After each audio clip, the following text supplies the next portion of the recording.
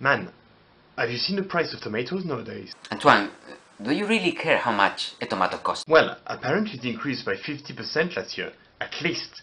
It's crazy, no? Antoine, it's me doing the shopping every week. And a pack costs one pound anyway, or one fifty, if you want some fancy Dutch tomatoes. Raul, you should buy it in bulk because in a pack you can't really select your tomatoes. We are not millionaires. And if you want bulk, feel free to do the shopping.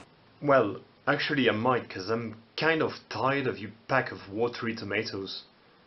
I, I would love something else for a change.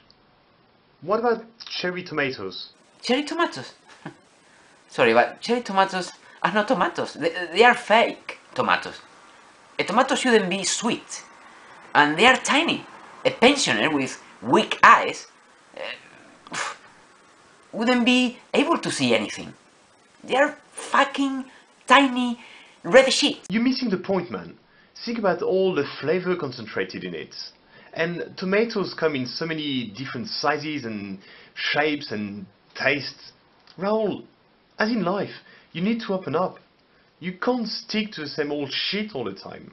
Yeah, yeah, yeah. Anyway, I prefer my tomatoes red, big, meaty, and never sweet. Yeah, but that could be the reason why you always complain about your salads. Lack of flavor, man. Antoine, whatever. A cherry tomato is like it's like ordering a pint of wheat beer and getting a shot of it instead. It's pointless. It's shit. And a tomato should be a tomato, not a fucking cherry pretending to be a tomato. Raul, why are you frustrated?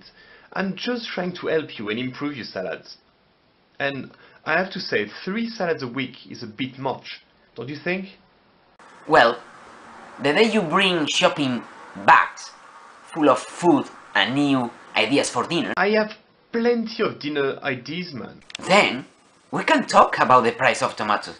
But for now, your contribution is only takeaways on weekends because we are so pissed that we will not find a pan to cook.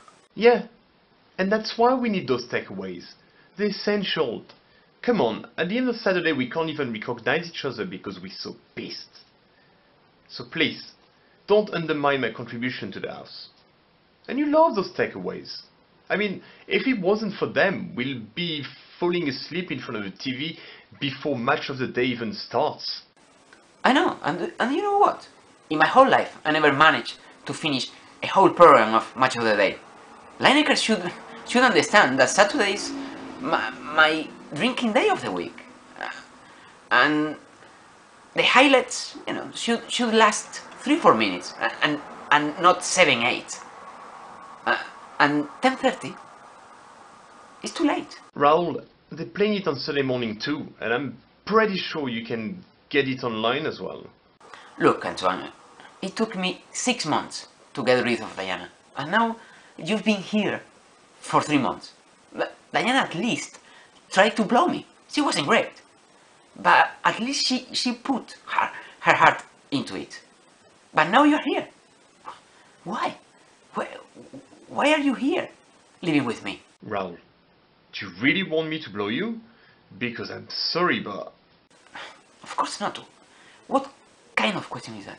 Well, you mentioned it, so... No, Antoine. I just want you out of my fucking flat.